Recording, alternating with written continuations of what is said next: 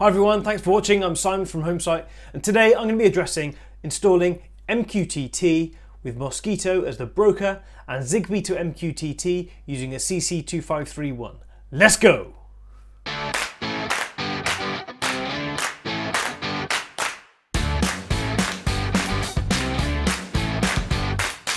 So I've had a bunch of questions around Zigbee and MQTT and how it all sort of interoperates. So first of all, people have been asking what it is. People have been asking, how do I install an MQTT broker?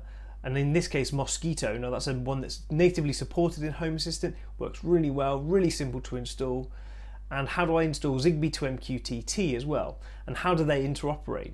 So today I'm going to do this video, I'm going to do a quick explanation of MQTT, that's very quick, and then I'm going to install Zigbee to MQTT, I'm going to install Mosquitto Broker, all using a CC2531 which is pre-flashed. So hopefully you'll like this video and hopefully you'll subscribe to my channel down below as well. So first of all, I said I'll talk you very, very quickly through MQTT and Zigbee. So let's start with Zigbee. Zigbee is a wireless protocol. It runs on 2.4 gigahertz, the same as one of the Wi-Fi bands. But it, it supports um, secure 128-bit encryption natively. It's this open standard, again, a bit like Wi-Fi.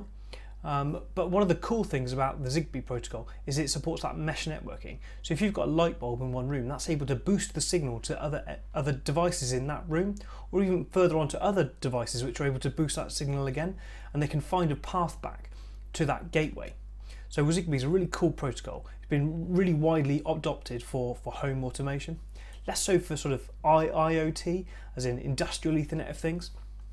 So moving on to MQTT. MQTT stands for Message Queuing Telemetry Transport. It's a really lightweight protocol. Um, it able, is able to pass information in very small amounts of bandwidth, but securely as well. And it's got this concept of publish and subscribe, and you must have a broker in it to, to handle those messages. Now, typically, a device will publish its state um, or and others can subscribe onto that to understand that state. So if you think about a light bulb, a light bulb is going to publish its state back to the broker and the broker is going to send that to all the people that are interested in that. So that might be your Home Assistant. So Home Assistant, if you think about decoupling that from your, your Mosquitto broker and your Home Assistant, you've got to sort of think about them in two slightly different terms, even though they might be running on the same box. But the broker is able to send that information to your Home Assistant and then that's able to then update your the information that's displayed on your screens. Now, interestingly as well, it's the same for a publish can be a control as well. So it doesn't just have to be a status, it could be a control. So the Home Assistant might send a publish to the MQTT broker, in our case Mosquitto, and that will send it onto, again, it will push it onto other people, i.e. the light bulb itself, who are interested in doing that thing, i.e. who are turning on. Now you could have, now that could turn on a bunch of lights. So it could be a, a, single topic that's sending to, the, to multiple lights. So we could really go into MQTT and if you if you really want that I could go into a lot of detail so let me know in the comment and I'll do a, do a better video on it. But for now all we're really interested in is Zigbee to MQTT, getting that working because that will do the translation from Zigbee through to MQTT and that will pass it into Mosquitto, and that will allow it all to work with Home Assistant as well. So let's get it all installed. So we're starting off in our Home Assistant Supervisor. We're going to go to our add-on store, and first of all, we're going to look for Zigbee. Now you can see that Zigbee to MQTT, which is going to be the first thing we install, isn't there. We need to add the repository. So if we click on the three little dots to the top right, we can paste in this text here. Once we hit add, it will then have somewhere else to go off and look for for software. So now that that's added, you can see it's down here. Alternatively, you can just search for Zigbee again and you'll see that that now comes up. So once we click on the one we want, we can hit install. Now this takes about five minutes, so I fast forwarded through this bit. Now once we've got to here, you can see it's installed successfully. Now I want to show it in my sidebar because it's quite an important part of my Home Assistant. So we can tick that option and we can try and start it. Now spoiler alert, this is going to fail to start with.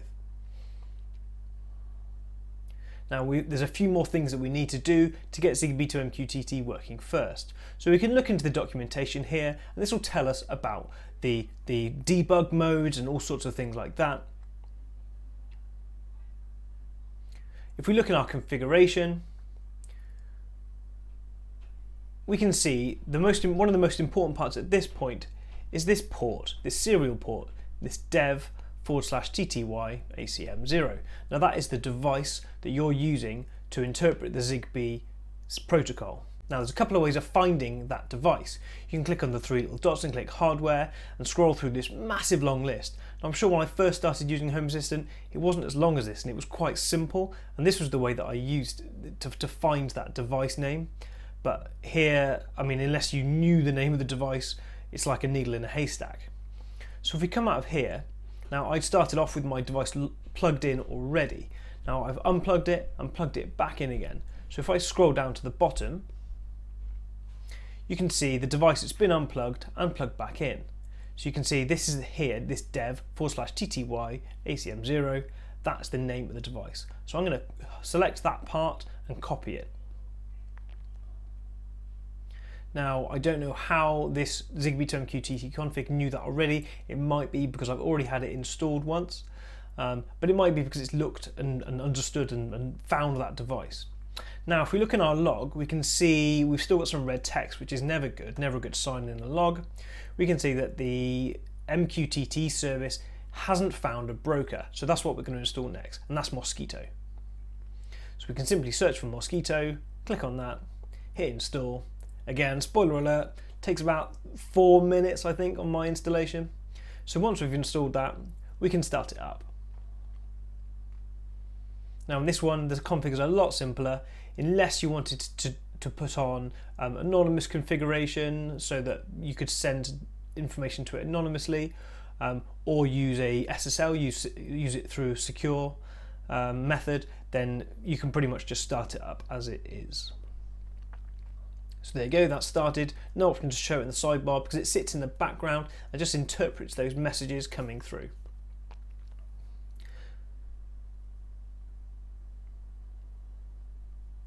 So the other thing you're going to need to do is set up a user. A specific user for MQTT is advised. Now you could use your normal user, but you, you probably don't want this user to be an administrator so I'm just setting up for now mqtt underscore user and the password is mqtt underscore pass.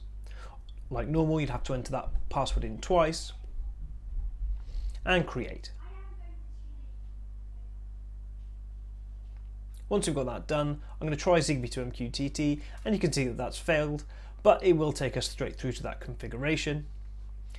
And we can now take a look in our log again. So we should have we've got a broker now so we can start this up and see what happens. We come back to our log and refresh a couple of times. So it's looking better. We've got more green less red. Always a good start. But we're not quite there yet. We've still got some red some error whilst starting. Now we're getting failure to connect. Hmm okay. So that user that we've just created I'm also going to put that into the configuration of this ZigBee to MQTT and hopefully that'll get it started. So into our configuration and in this part here where we've got MQTT colon I'm simply going to add some additional lines which I've already prepared but it's just user colon the name and then password colon and the, the password. So I'm going to hit save to that and restart the add-on. Now if I come back to my log now, hopefully we should see all green, no red. That's what, we, that's, that's what we're looking for.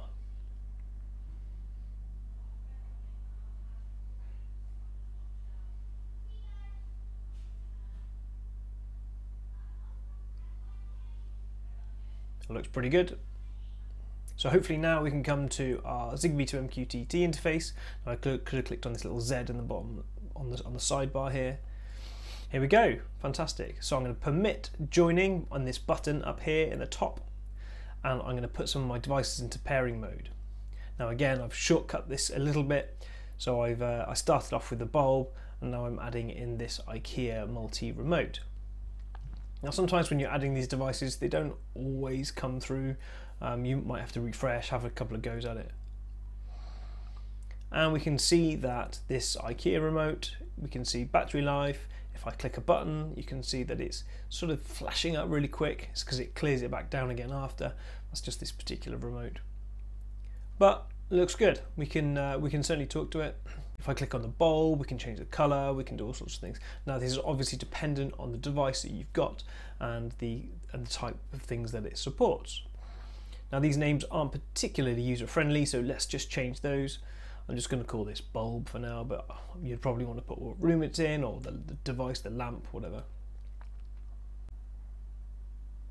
Now if we click in settings, we can see it's got this Home Assistant support switch. Now you're probably going to want to have that turned on. If we go to the integrations and go to MQTT and the three little dots at the bottom right and system options, we can automatically have devices that it sees learnt and added into the system.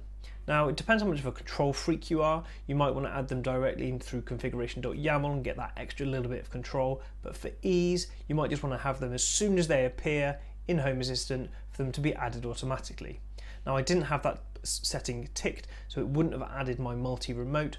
So I've just removed it and I'll add it back in again now and we'll just follow that process through and make sure that it adds it in. So I've just re-added my multi-remote. and You can see these green boxes down here that flashed up and it starts what they call the interview process where they're learning about each other. The device is telling it what it supports and giving ZigBee to MQTT a chance to set it up and make sure that it's got everything set up just right. So I'm going to change the name of this to multi-remote.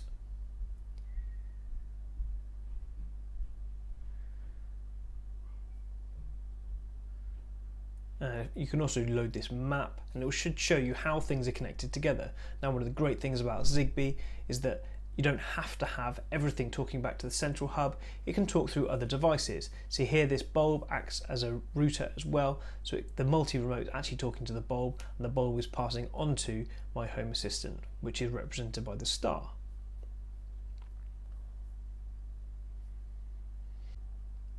Now if we look in our logs and I click a button on the remote and scroll down a little bit, you can see this is the ZigBee MQTT publishing that MQTT message. So you can see that's the topic we spoke about and the payload. So that's toggle, we got brightness up click as well. Now we could pass that directly into a MQTT in node, in node-RED if we wanted to. So if we look through our integrations, we can see at the minute there's no entities. We've got two disabled entities by default. I'm not quite sure why it does it like this. You have to enable them manually. So if we click on the entities, we can see we've got all of these marked as unavailable. So we select all of the entities we want and we can click enable selected up here in the top right hand corner.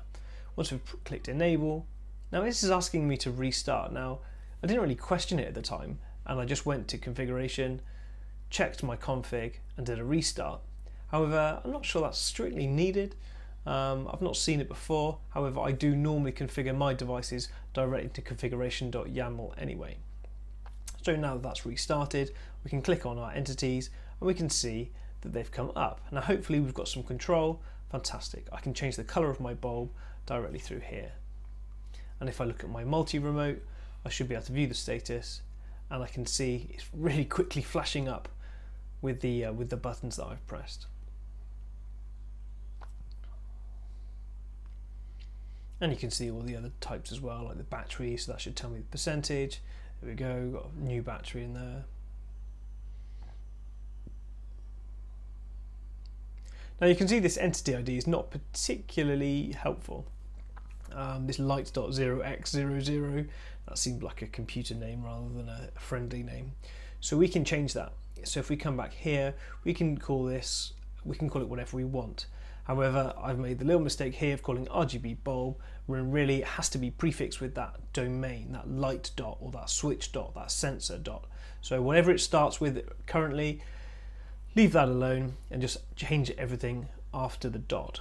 Now, I don't know why it doesn't like that, so I'm just going to retype it all, light dot bulb I'm going to put, and update. So that's now updated that into our Home Assistant.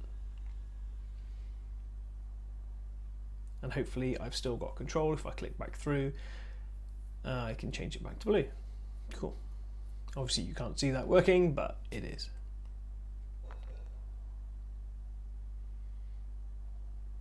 Great. There is another way of doing it as well through the integrations. You can choose the entities through here and you can see that I can rename the action, for example, on this multi-remote. I can rename the battery so it all makes sense so that I can uh, really use it in my system. So the final thing I'm going to say is about this CC2531 made by ITEAD. Now, they're dirt cheap. Um, they really, really are cheap. You can buy them pre-flashed for about £15. Um, you can buy them with the aerial um, built in or with a separate aerial, um, which, which I use. Now, I do genuinely use this for my home network and I don't really have any issues.